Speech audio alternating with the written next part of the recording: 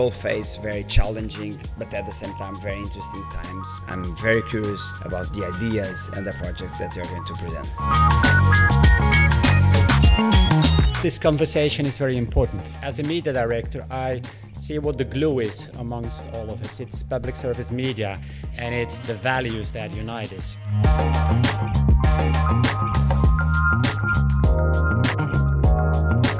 With one brand now, it was a symbol of the transformation of the company towards digital.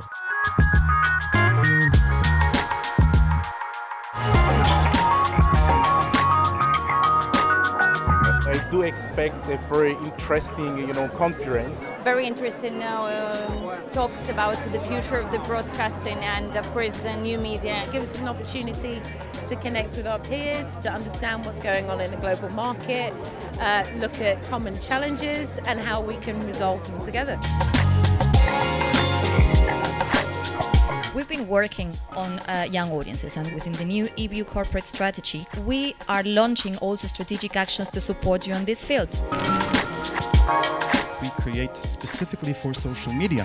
What's happening now is that we're distributing the TV, the linear content in our channels, and no one can tell the difference. You need to do a lot of studies, you need to know your audience, and you need to have some young people working for you that can relate. This is the end game for everyone who wants to, to talk to younger audiences. I'd say reach the unreachables. Our goal here with this specific younger audience that plays competitive gaming is it does not matter what you play, whatever game you play that is competitive, the best play it on RTP Arena.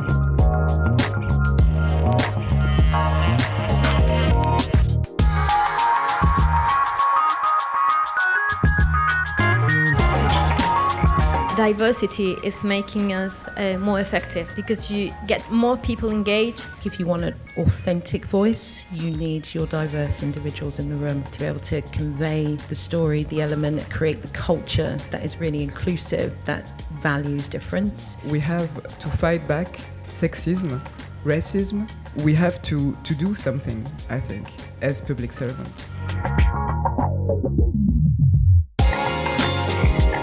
The edges are blurring between content and technology, and we have to recognize that. We need to trust each other, we need to know what we're doing, we need to be curious about each other's organizations. This has to take the time that it has to take. We have to work together. We have, we have been working together.